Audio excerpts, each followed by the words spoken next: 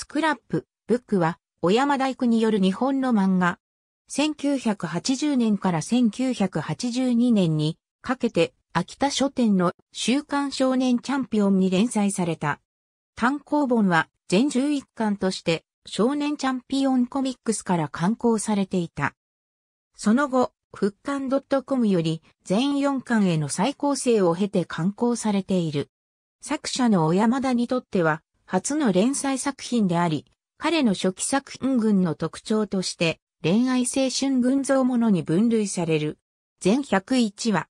本作以前に同じく週刊少年チャンピオンに掲載された読み切り作品12月のただ春雨ミラジュ三角定規プラス1の3作品とは舞台背景、登場人物など内容がリンクしている。なお、これらの短編は本編が単行本化される際に一緒に収録されたが、チャンピオンコミックス版では1から3巻末に収録されていた。もともと、これらの作品は、連載本編のプレストーリーだったので、後日の復刊 .com 版では一巻の冒頭にまとめられている。連載時期と作品中の時間の流れがほぼリンクしていたのも特徴で、作中で主人公たちが中学校2年生に進級したばかりの4月から卒業までの2年間を実際に約2年の連載期間をかけて描き上げた。主人公たちは1966年度生まれであり、これは作者のちょうど10歳下にあたる。この1966年は日の絵馬にあたるため、前後の年に比べると出生率が極端に下がった年であるが、作中にそれを感じさせる描写はない。登場人物の多くが作者の同級生や知人をモデルにしたものである。作者独特のギャグ要素が特に作品前半において色濃く出ている。また、同時期に、週刊少年チャンピオンに連載を持っていた鳥、ミキとの使命を利用したおちょくり合いは有名である。初期には、登場人物が、サダマサシや、その他のフォークニューミュージックを口ずさんでいることが何度かある。当時流行っていた、機動戦士ガンダムなどのロボットアニメもよく登場した。なお、同じ作者の無事な注意報は、本作品と同じ時間軸上にある作品で、本作品の登場人物のうち数人が実際に登場している。少年チャンピオンコミックスから全11巻でコミックスが刊行されたが、2000年頃以降絶版となっていた。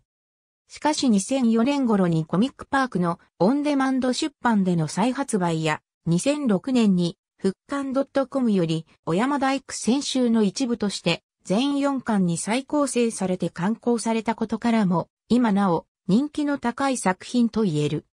週刊少年チャンピオン2009年30号に創刊40周年記念企画として完全新作の読み切り、夢のありかが掲載された。続編、ブルーピーターと共に、当時はその概念さえなかった空気系の元祖とも言える作品。柏木春、通称ハレボンは、長野県小諸市、私立足の現中学校の生徒。彼を中心とした少年少女たちが織りなす恋と青春の学園生活が描かれる。本編開始時は2年7組、後半ではクラス替えがなかったため、そのまま持ち上がりで3年7組となる。実在する小諸市立あわら中学校がモデル。小諸市立あわら中学校 HP 第4話に、大江義美の彼女として、かがりらしきキャラが登場してはいる。一野は、ともちゃんと呼んでいる。またそのシーンの10ページ前で、戸沢忠健や西尾義則、山崎陽子らが、晴れ盆を茶化しているシーンで、かがりの下の欄外に、ともこと書かれていた。この書き込みはコミックスでは、削除されている。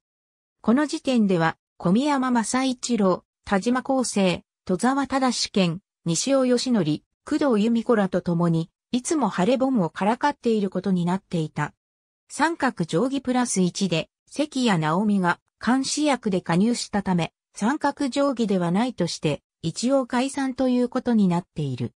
同時期に、少年チャンピオンに、木村和明が連載していた、ベニマロの主人公の髪型が元になっている。第4話欄外に、ベニマロヘアと書き込まれている。ありがとうございます。